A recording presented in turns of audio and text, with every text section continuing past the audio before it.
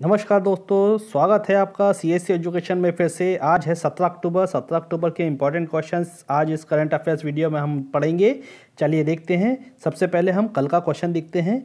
विश्व छात्र दिवस निम्न में से किस दिन मनाया जाता है? 15 अक्टूबर को यह मनाया जाता है। इस दिन हमारे पूर्व राष्ट्रपति ए पी जे अब्दुल कलाम जी का एनिवर्सरी थी और इसी, इन्हीं के एनिवर्सरी पर संयुक्त राष्ट्र ने 2010 में विश्व छात्र दिवस वर्ल्ड स्टूडेंट डे घोषित किया था कि इस दिन मनाया जाएगा और तब से यह दिवस मनाया जा रहा है पंद्रह अक्टूबर को। आज का पहला क्वेश्चन है, दिल्ली के उप मुख्यमंत्री मनीष सिसोदिया को हाल ही में किसका अतिरिक्त प्रभार दिया गया है? ऑप्शन ए रोज़गार और श्रम विभाग, खेल विभाग, अंतरिक्ष विभाग और स्वास्थ्य विभाग। सही आंसर है, रोज़गार एवं श्रम विभाग। दिल्ली सरकार के मंत्रिमंडल में मामूली फेरबदल करते हुए श्रम विभाग और रोज़गार विभाग का प्रभार उप मुख्यमंत्री मनीष सिसोदिया को सौंपा गया। दिल्ली सरकार द्वारा अधिसूचना में कहा गया है कि दिल्ली राष्ट्रीय राजधानी क्षेत्र, एनसीआर जो क्षेत्र है, वहाँ के कार्यों का आवंटन नियम नियम उन्नीस के नियम तीन के, में प्रदान की गई शक्ति का इस्तेमाल करते हुए उपराज्यपाल ने मुख्यमंत्री से परामर्श कर श्रम और रोज़गार मामलों का प्रभार उप मुख्यमंत्री मनीष सिसोदिया को प्रदान किया गया है। दूसरा क्वेश्चन है पद्मश्री से सम्मानित किस कुचिपुड़ी नृत्यांगना का चौसठ वर्ष की उम्र में निधन हो गया? ऑप्शन है, मंजू भार्गवी, शोभा नायडू, यामिनी कृष्णमूर्ति, चित्रा विश्वेश्वरन। सही आंसर है, शोभा नायडू। इनका अभी हाल ही में निधन हो गया, इनकी उम्र चौंसठ वर्ष थी और नायडू जो, शोभा नायडू जी हैं, इनकी प्रमुख उपलब्धियों में विप्र नारायण कल्याण श्रीनिवासम और अन्य बैले की कोरियोग्राफी है और उनमें नृत्य तथा अभिनय करना था। इनमें नायडू ने सत्यभामा देव देव की, पद्मावती, मोहिनी साईं बाबा और देवी पार्वती की मुख्य भूमिकाएँ निभाई हैं। उनकी प्रस्तुतियों की सिर्फ़ देश में ही नहीं बल्कि विदेशों में भी प्रशंसा हुई हैं। उन्होंने अमेरिका और ब्रिटेन सहित कई देशों में अपनी प्रस्तुति दी हैं।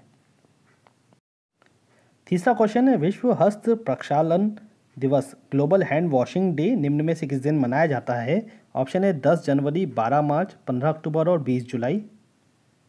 सही आंसर है पंद्रह अक्टूबर को यह दिवस मनाया जाता है। इस दिन लोगों में हाथ धोने के प्रति जागरूकता फैलाने के लिए अभियान चलाया जाता है।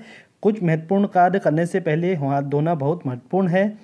संयुक्त राष्ट्र संघ ने 15 अक्टूबर का दिन हाथ, विश्व हाथ धुलाई दिवस के रूप में तय किया है।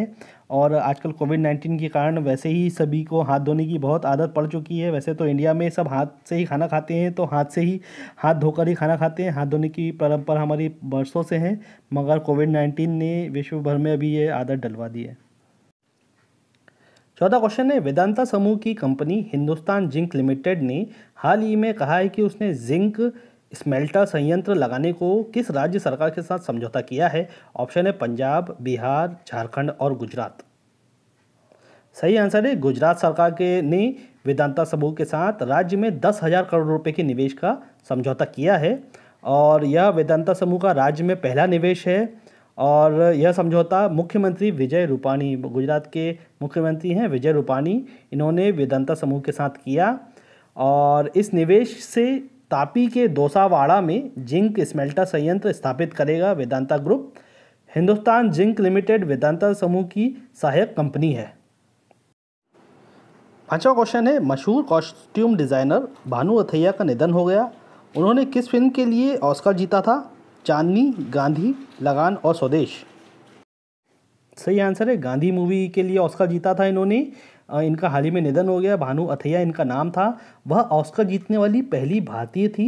ये आप ज़रूर याद रखिएगा, ऐसा क्वेश्चन आ सकता है कभी। ऑस्कर जीतने वाले पहले भारतीय कौन थी? तो भानु अथैया नाम याद रखिएगा, ये कॉस्ट्यूम डिज़ाइनर थी और इन्होंने गांधी मूवी के लिए यह अवार्ड जीता था। रिचर्ड एटनबरो की यह फ़िल्म थी गांधी, इसके लिए ऑस्कर अवार्ड जीता था इन्होंने।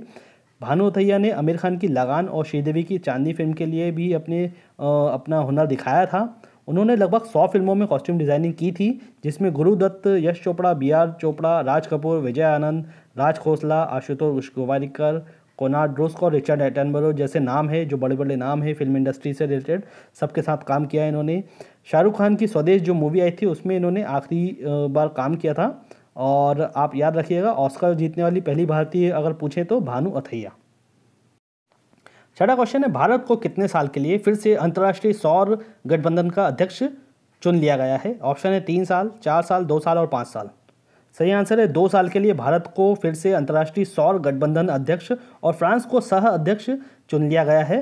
अंतर्राष्ट्रीय सौर गठबंधन की आयोजित वर्चुअल बैठक में चौंतीस सदस्य देशों ने इसका फैसला किया। बैठक में गठबंधन के चार क्षेत्रों का प्रतिनिधित्व करने वाले चार नए उपाध्यक्षों का भी चयन किया गया है। सातवां क्वेश्चन है भारत ने फिलिस्तीनी शरणार्थियों के लिए संयुक्त राष्ट्र राहत और कार्य एजेंसी को कितने लाख डॉलर का योगदान दिया है? ऑप्शन है बारह लाख डॉलर अट्ठारह लाख डॉलर, बीस लाख डॉलर या फिर दस लाख डॉलर। सही आंसर है दस लाख डॉलर। भारत ने फिलिस्तीनी शरणार्थियों के लिए दस लाख डॉलर का योगदान किया है। संयुक्त राष्ट्र राहत और कार्य एजेंसी के को इस राशि से शिक्षा, स्वास्थ्य, राहत और सामाजिक कार्यों सहित एजेंसी के कई कार्यक्रमों और सेवाओं को जारी रखने में मदद मिलेगी। भारत, फिलिस्तीनी शरणार्थियों को महत्वपूर्ण सेवाएँ और आवश्यक मानवीय सहायता देने में संयुक्त राष्ट्र राहत और कार्य एजेंसी गतिविधियों का समर्थन करता रहेगा। आठवां क्वेश्चन है, हाल ही में किस देश ने आर्टन कैपिटल्स पासपोर्ट इंडेक्स 2020 की सूची में अट्ठावनवा स्थान प्राप्त किया है? ऑप्शन ए, नेपाल, चीन, भारत और रूस। सही आंसर है भारत। भारत ने आर्टन कैपिटल के पासपोर्ट इंडेक्स 2020 के अनुसार भारत को विश्व के सबसे शक्तिशाली पासपोर्ट की सूची में अट्ठावनवा स्थान प्राप्त हुआ है और न्यूजीलैंड सबसे ऊपर है, दूसरे स्थान पर है Japan, Germany Austria, Luxembourg, Switzerland, Ireland, दक्षिण कोरिया और ऑस्ट्रेलिया को यह स्थान की सूची में रखा गया है। नाइन्थ क्वेश्चन है, किस देश के पूर्व cricketer allrounder John Richard Reid का हाल ही में निधन हो गया? ऑप्शन है न्यूजीलैंड ऑस्ट्रेलिया इंग्लैंड और दक्षिण अफ्रीका। सही आंसर है न्यूजीलैंड के पूर्व क्रिकेट ऑलराउंडर थे जॉन रिचर्ड रीड इनका हाल ही में निधन हो गया। और वो वर्तमान में न्यूजीलैंड के सबसे वृद्ध टेस्ट प्लेयर भी थे। वह न्यूजीलैंड के लिए टेस्ट जीत में लीड करने वाले पहले क्रिकेटर थे। जॉन रिचर्ड रीड ने अट्ठावन टेस्ट मैचों में 33 के औसत के साथ चौंतीस रन बनाए, जिसमें 16 साल से अधिक समय के करियर में 22 अर्धशतक और 6 शतक शामिल हैं। उनका पहला टेस्ट शतक 135 के स्कोर पर उन्नीस में केपटाउन में दक्षिण अफ्रीका के खिलाफ था। दसवां क्वेश्चन है, हाल ही में किस राज्य सरकार ने किसानों के उन्नयन के लिए किसान कल्याण कोष बोर्ड स्थापित करने का फैसला किया है? ऑप्शन है पंजाब, उत्तर प्रदेश, कर्नाटक और केरल। सही आंसर रोज के तरह आप मुझे फिर से बताइएगा। और आज का ये वीडियो हम यहीं समाप्त करते हैं। मिलते हैं अगले वीडियो में। जय हिंद।